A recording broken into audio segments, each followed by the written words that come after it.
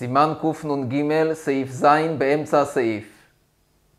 הסעיף שלנו עוסק בעניין מכירת בית כנסת, ולמדנו שיש הבדל בין בית כנסת של כרכים לבין בית כנסת של כפרים.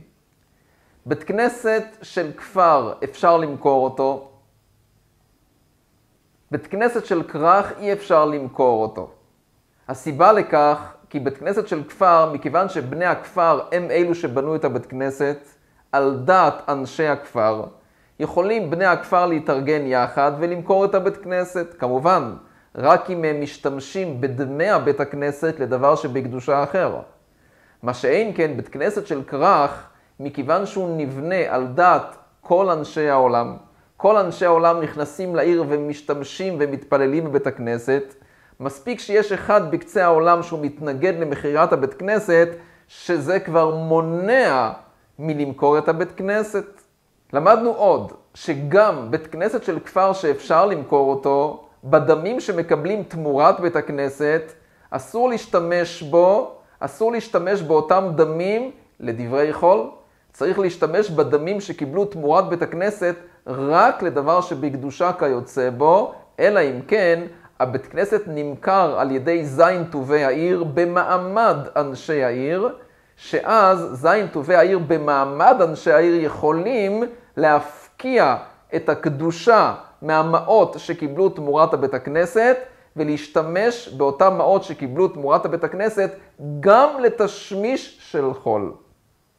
גם בית כנסת של כרך, שאומנם אי אפשר למכור אותו, כי אולי יש אחד בקצה העולם שמתנגד למכירת הבית כנסת, אבל גם כאן למדנו שאם בשעת בניית הבית כנסת ייתנו שאדם מסוים יוכל לעשות בבית כנסת כפי ראות עיניו על דעת אנשי הציבור, אז הדין הוא שיש לאותו יחיד כוח של זין טובי העיר במעמד אנשי העיר כלפי אותו בית כנסת, גם אם הוא של כרך, גם אם הוא של עיר. כי הדייתא דאוכי הבית כנסת נבנה, הוא לא נבנה על דעת כל העולם, אלא על דעת אותו יחיד. בהמשך לכך, משמיע שולחן ערוך כמה וכמה הוספות. ההוספה הראשונה, שכל זה אמור, מתי מותר למכור בית כנסת, כרכים, כפרים, רק כאשר יש להם בית כנסת אחר להתפלל בו. אבל ציבור שאין להם בית כנסת אחר להתפלל בו, או שיש להם בית כנסת אחר, אבל הוא לא מספיק מרווח, הוא לא מספיק גדול, הדין הוא שאסור למכור בית כנסת. אסור למכור בית כנסת כל עוד שאין להם בית כנסת אחר להתפלל בו. כמו שאסור לסתור בית כנסת כדי לבנות בית כנסת אחר, אלא אם כן בנו כבר את הבית כנסת השני. אחרי שבנו את הבית כנסת השני, מותר לסתור את הבית כנסת הקודם.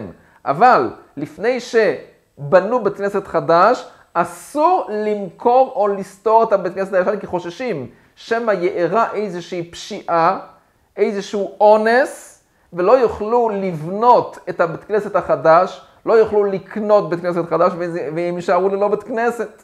הוספה אחת. הוספה שנייה, שאותם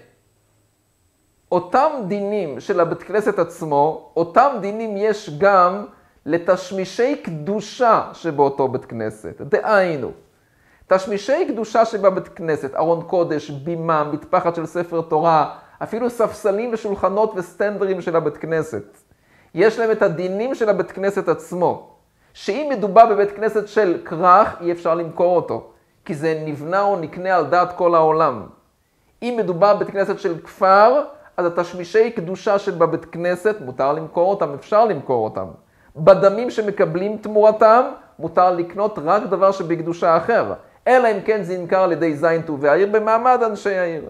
כלומר, אותם דינים של הבית כנסת, כרך, כפר, זין טובי העיר, על דעת יחיד, אותם דינים גם ביחס לתשמישי הקדושה של בית הכנסת.